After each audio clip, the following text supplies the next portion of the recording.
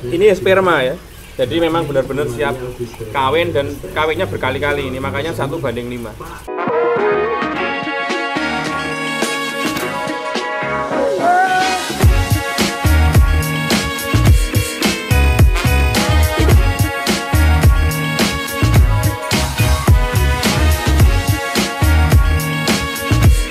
Kalau jantan seperti ini, ini indukan ya, untuk indukan.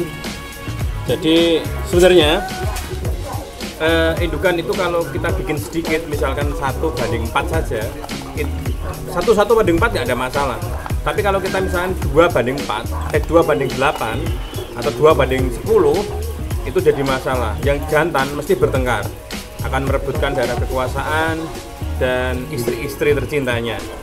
Nah, caranya adalah membuat satu kandang ini biar agak eh, penuh. Yaitu kalau saya 20 banding 5 ya, 20 banding 5 artinya 1 banding 5. Eh 20 banding 4, sorry, sorry, sorry. 20 banding 4 artinya 1 banding 5, ada 4 pasangan ya, 4 pasangan. Jadi totalnya satu kandang isinya 25 ekor.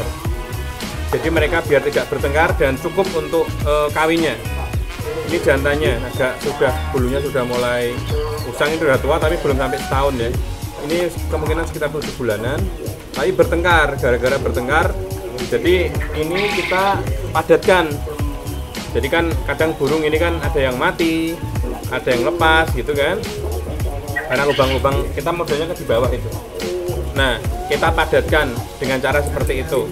Memang kita harus benar-benar eh, memperhatikan kalau kita bikin indukan lalu kita cari apa istilahnya perbandingannya itu benar-benar biar padat. Bisa juga eh, empat jantan betinanya dikasih 25 nggak ada masalah sebenarnya tapi kalau saya 20 banding 5 nah ini jantannya seperti ini kalau matang kelamin ya kawan-kawan ya siap kawin dan ini coba lihat Weh, ini ya, semoga kelihatan ini nggak fokus, nggak fokus.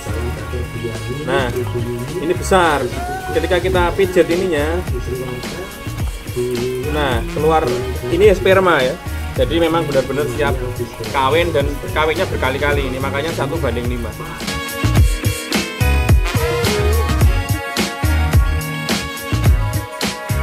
Ini juga jantan kawan-kawan, ini spermanya, kelaminnya besar sekali. Kalau dipijit, wih spermanya banyak. Ya, mungkin tidak kelihatan, sorry ya.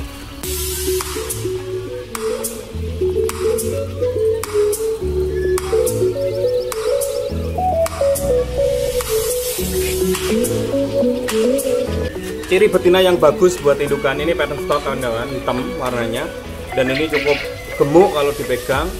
Coba kelaminnya, tempat telurnya udah gede.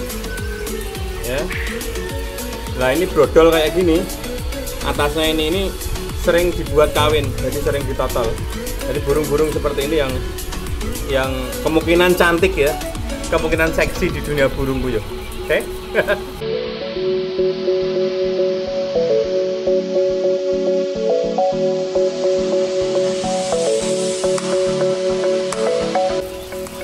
menjawab juga pertanyaan apabila kita pakai indukan kita pakannya apa? Ya pakannya pakan murni.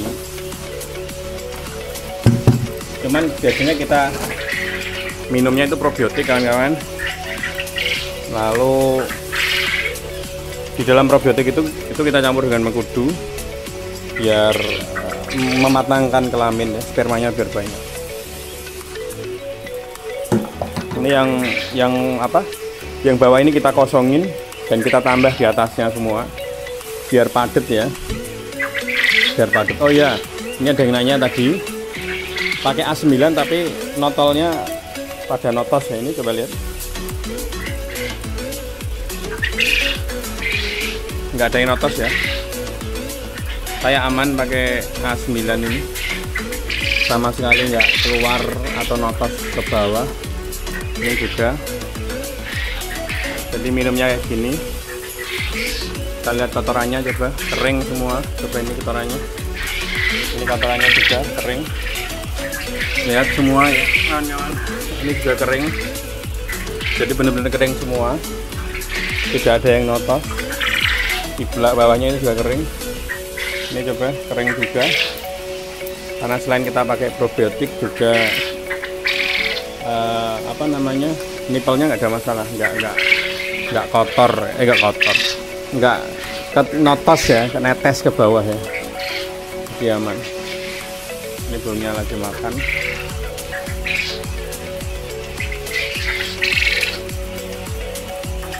Ini telur fertil semua karena memang yang ini ada indukan semua. Kita padatkan biar tidak bertengkar karena beberapa ini pada brodol ya bertengkar.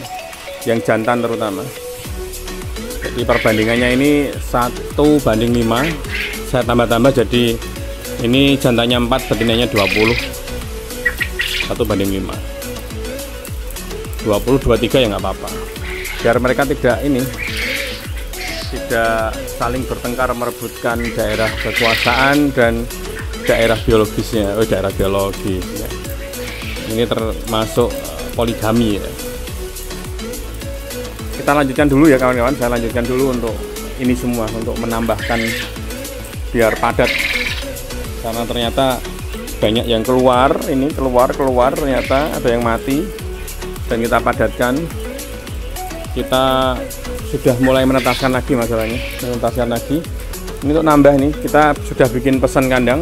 Dari kandang ini tengah ini kita kasih lagi 10 lagi. Jadi ini 10 ini 10 ini 10 10 ini muatnya 1500 kawan ini 1500 burung.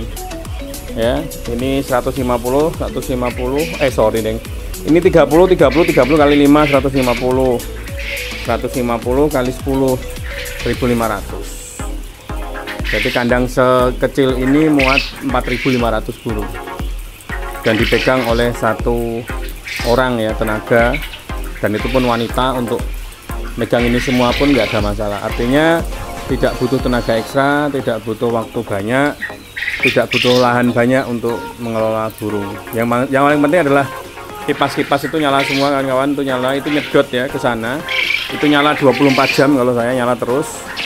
Jadi kalau malam pun dia nyala untuk membuang panas di dalam ya. Yang ini masuk udara dari sana masuk.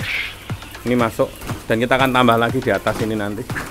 Jadi memang udara benar-benar harus uh, terbuang dengan benar dengan baik dengan uh, apa ya sirkulasi udaranya pokoknya yang penting bagus di dalamnya. Kalau nggak saya kasih di sini mungkin di atas ini saya kasih. Biar udaranya itu benar-benar uh, benar-benar suhunya udara suhu kelembapan terjaga. Kalau kelembapan sudah cukup insya Allah tapi suhunya yang belum. Karena panas kan ya. Karena ini ini juga termasuk sudah tinggi kawan-kawan. Ini tinggi loh ya ini tinggi. Sana paling sana itu sekitar 4 meter ya.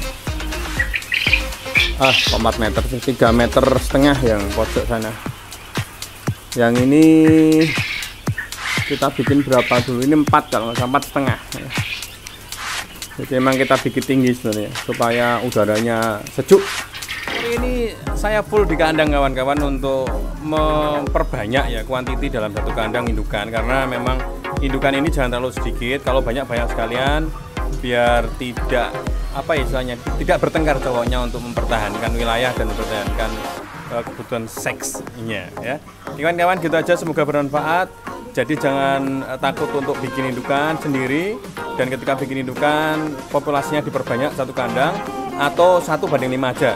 Kalau memang mau dibikin perbandingan banyak sekalian banyak biar tidak bertengkar dan tidak brodol tidak mati semua. Assalamualaikum warahmatullahi wabarakatuh. Salam sukses untuk Indonesia.